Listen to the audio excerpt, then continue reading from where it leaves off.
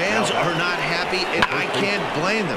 And inside the Parker on that hit, there's simply no excuse for that. And everyone in the ballpark knows it.